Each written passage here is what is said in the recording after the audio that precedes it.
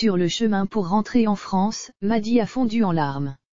Dans cet article, on vous explique pourquoi.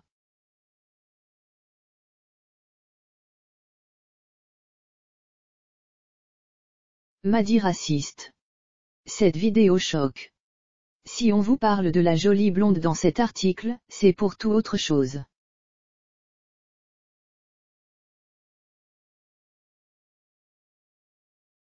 Il se trouve que Maddy et Benjamin Sama ont pris l'avion pour rentrer en France.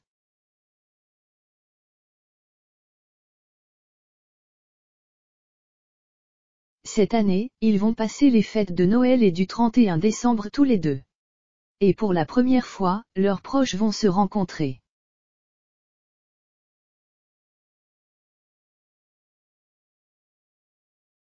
Alors pour l'occasion, ils ont décidé d'amener Maya, leur chienne. L'animal a dû voyager en soute dans une cage.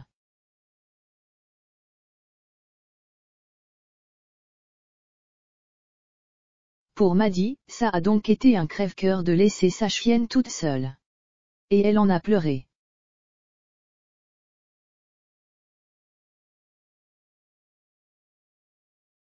La preuve avec ses confidences qui se trouvent ci-dessous. Point pour vous tenir au courant pour Maya, elle a bien embarqué ça y est on l'a déposée au niveau inférieur de l'aéroport.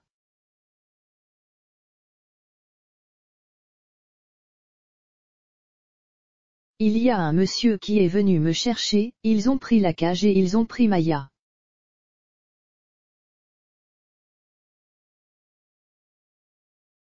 J'ai pleuré bien évidemment.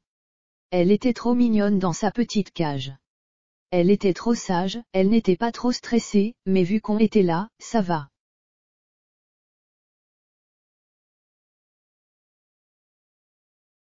Mais ça me stresse de ouf.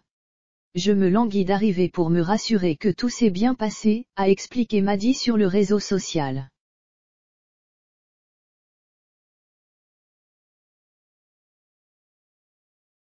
Après plusieurs heures de vol, elle et Benjamin Sama ont pu récupérer Maya.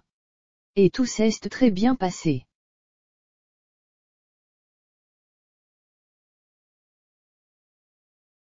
La mission n'est pas finie pour Maddy et Benjamin Sama. Une fois arrivés sur Marseille, Maddy et Benjamin Sama ont été accueillis par le père de ce dernier.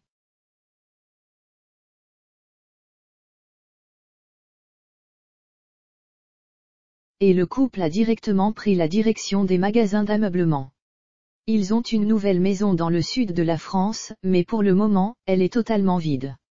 En quelques heures, ils ont alors trouvé un canapé, un lit, un frigo et une télévision.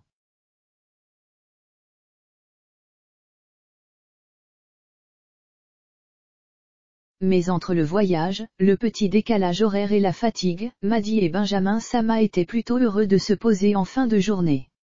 Dans le reste de l'actu People, sachez que Victoria serait hypocrite avec Isabeau.